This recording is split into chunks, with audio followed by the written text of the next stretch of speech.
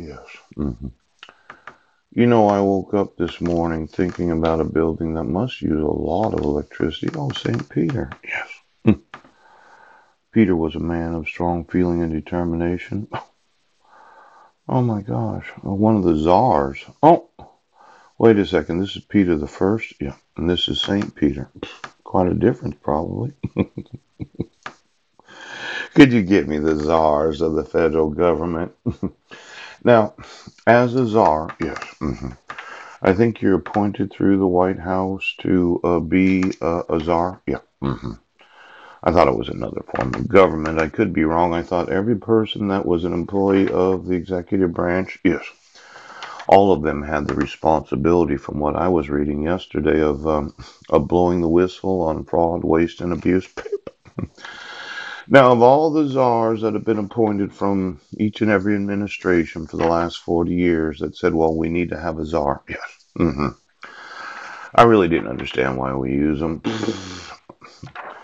I thought that uh, the czars were kind of like, um, well, I have an executive branch authority to advise the president on what our individual needs are as a nation. Now, I know, quiet campaign, insulted citizen, doesn't have a valid state identification, all the assaults that I've experienced and all the fraud and forgery.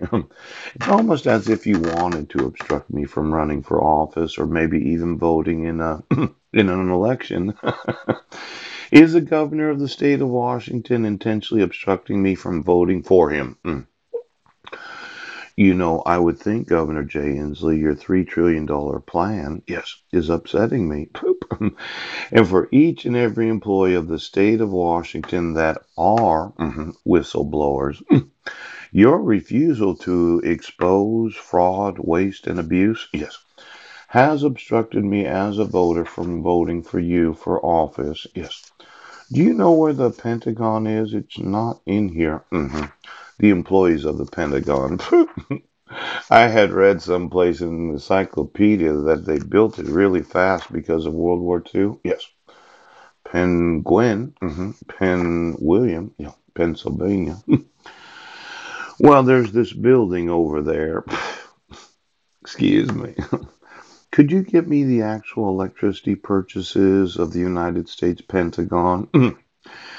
I had thought that it was a building that was necessary during World War II. Yes. hmm That they worked round the clock to build it because of the, the Nazi threat of World War II.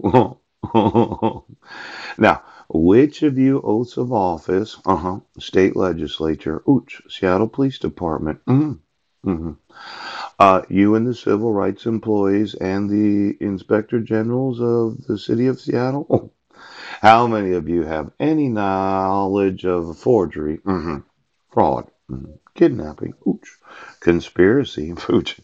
Is it really treason to intentionally obstruct any person from being able to participate in an election?